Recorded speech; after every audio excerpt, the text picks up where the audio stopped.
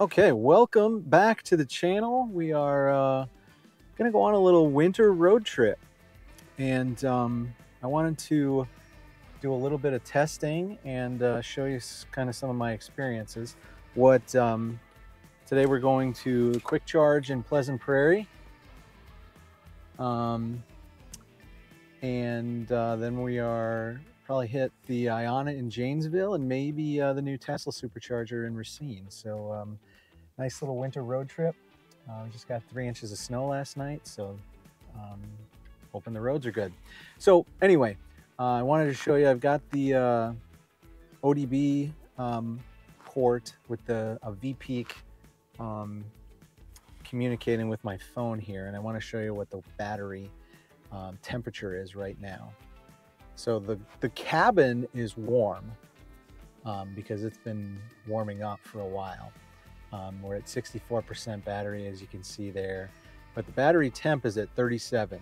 So um, we are going to drive down to Janesville and uh, plug in at uh, IONNA and um, just see what we get without warming. And then on the way over to the Kwik Charge, we're going to um, precondition. I'll go over that once we leave IONNA or when we're ready to leave the IONNA station. And then, um, yeah, so then we'll have a good, uh, a good test with two kind of comparable um, fast charging locations. So let's drive.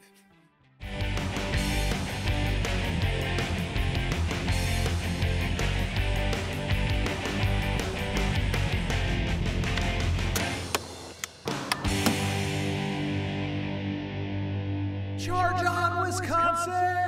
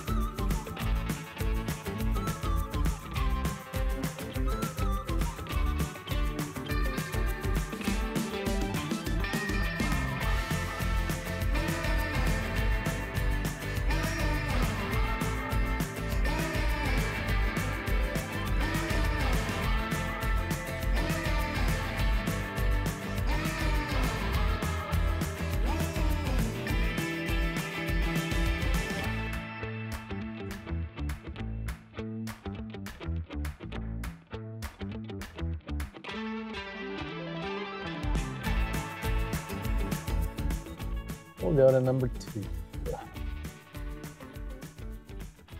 All pull through stalls here. Glorious. I don't even tow. All right, so 41 degrees. This battery is pretty darn cold. And um, yeah, we're going to plug in and see what we can get for a few minutes.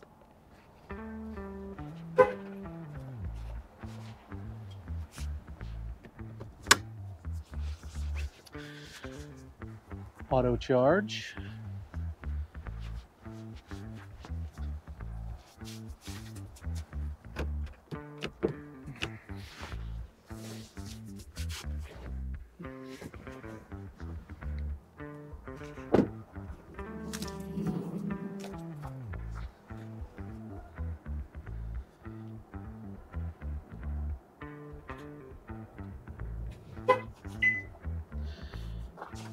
There we go.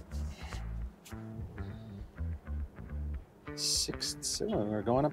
All right, well, this is actually better than I was expecting. Still climbing. That's a fun little charge curve.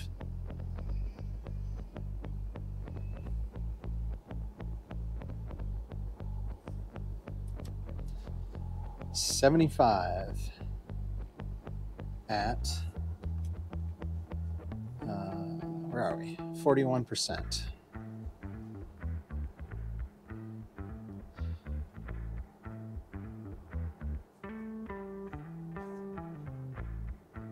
And going down.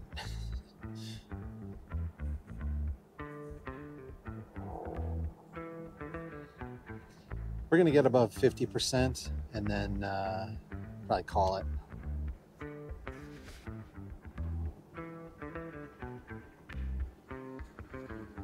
Maybe 55. Anyway, 63, not great. Cold battery, don't like taking in electrons as much. When we were here last, there were no paper towels. Oh, but we have a different problem this time. Paper towels are here, but this is a frozen block that ain't gonna ain't gonna work. We're at 48% now. And it keeps changing the uh, graph on me. Six kilowatt hours. See the average is going down, which makes sense. It's so cold.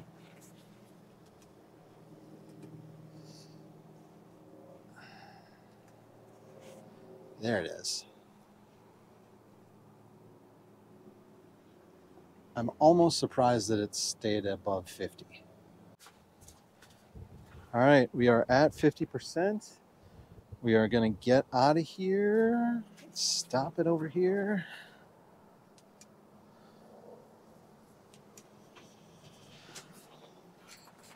We're down to 52 kilowatts. All right, let's get back on the road. Okay, how do you precondition like I did on the road trip? Well, here's what I did. you can go through the nav and do it that way, but here's how I did it. Go to charging, fast charge prep. Boom, get ready for fast charging, start. Ready to plug in, and the battery is going to warm up.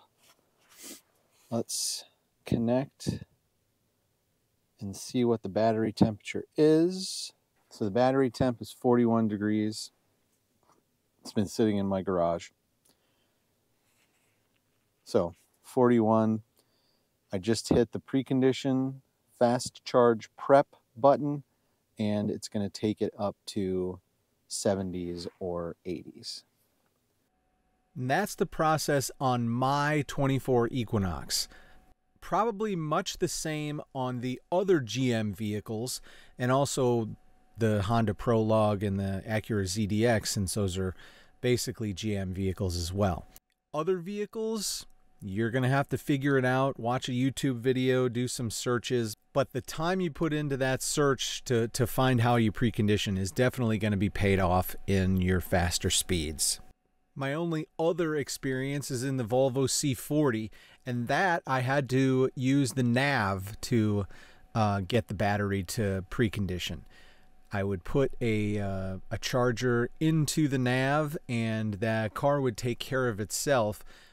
If your car doesn't have a manual button like mine did, and I showed you, certainly use the navigation to uh, navigate to your charging destinations, and hopefully the car will take care of warming that battery up so it is ready to roll when you get to the charger. All right, well, while we're super cruising our way over to Pleasant Prairie, um, I've got the battery uh, preconditioner cranking. Um, I'm not sure if it's gonna if it would do it for a Kwik Charge because I'm not sure if it's actually in their maps yet. I'm guessing that we'll be at about 18%, 17%, it says now, uh, when we arrive there. So that's a pretty good uh, opportunity if the battery's warm to get a decent, uh, long, full speed. Speed, is that the right way to say it? Full power charge? I don't know. I think you know what I mean around 150 kilowatts for as long as uh, as we can. Um, I guess is a, another way to say it. So, um, yeah, got just over an hour, 59 miles of back streets and country highways uh, in Wisconsin. Highway 14 here. Um, so I'm not even sure how. Uh, how we're going. Uh, just put it in and uh, Google is handling the rest.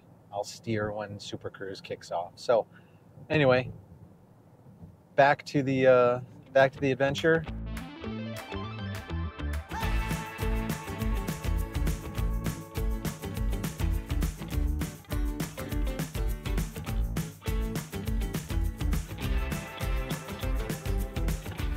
Last 20 miles here to Pleasant Prairie and the battery is at a nice comfortable 78.8 or 80.6 depending on which one you're believing as it flashes. So it is uh, ready to go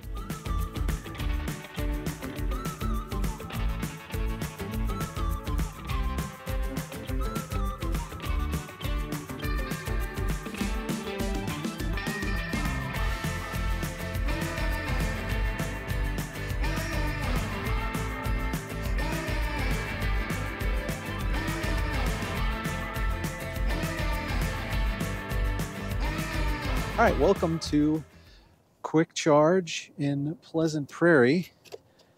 Late afternoon sun blinding me. But um, so, battery temp. Let's check the battery temp first. Last I saw it was 77, but uh, nothing like checking. Well, it says 71, so it's going down as we stopped, right? And it's getting colder. But 71 is uh, still a lot warmer than it was when we charged at IONNA. So let's get charging. Kwik Charge app number three. My countdown says 197 that I need to act before it resets. Connect and swipe to start. There we go. That was pretty quick.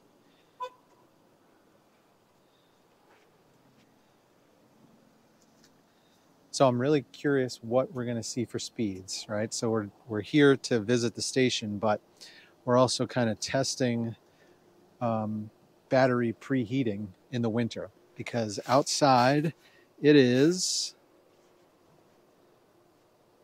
19 degrees. And uh, everything is kind of whirring up here. There we go. All right.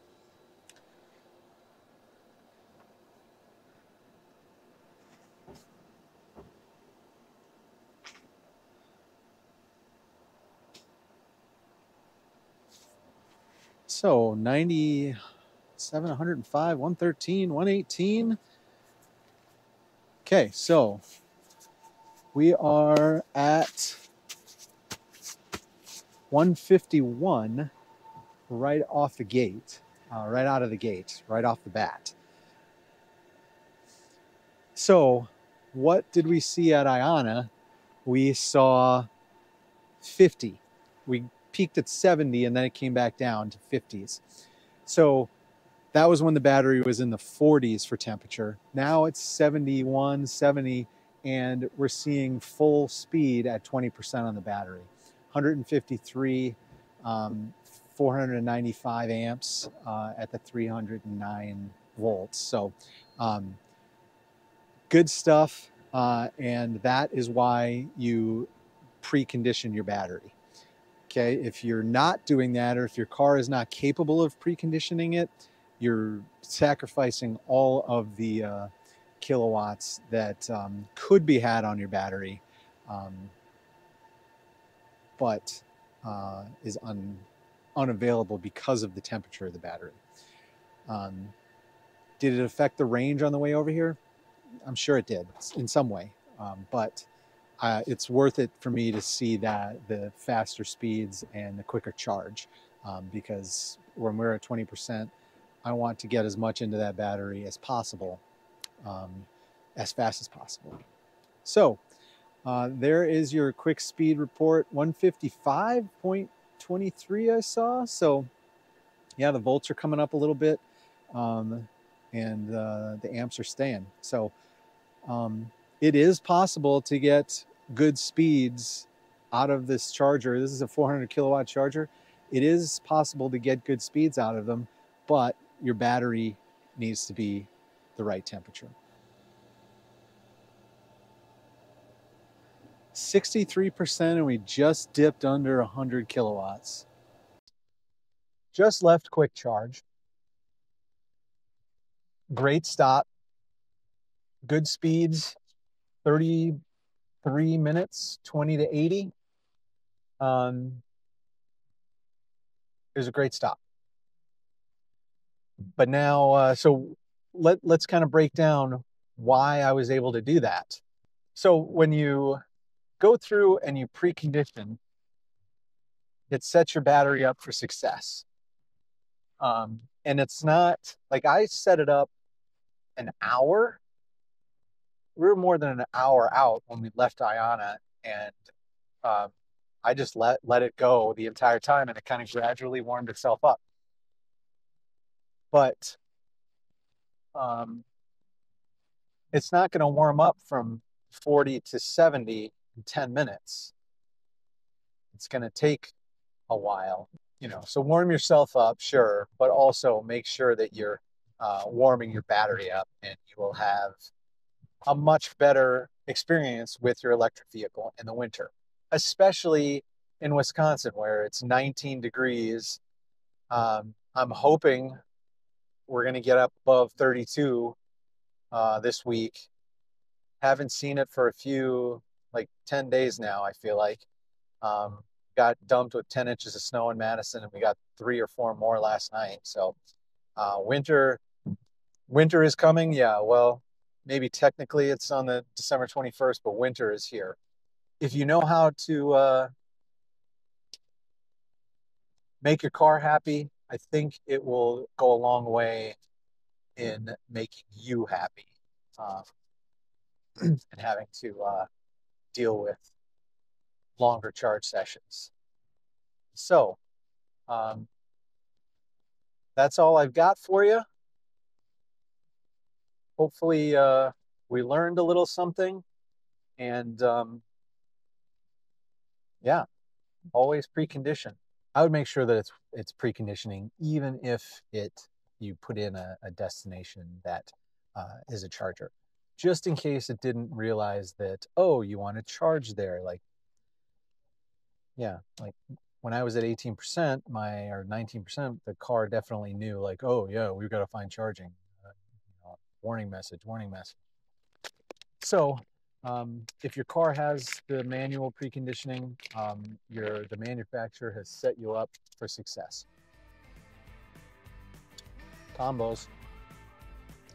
Snack and ride. All right, back to Super Cruise. Um, I think I've rambled enough. And um, yeah, thanks for watching. We'll see you at the next charge. Preconditioned one for sure.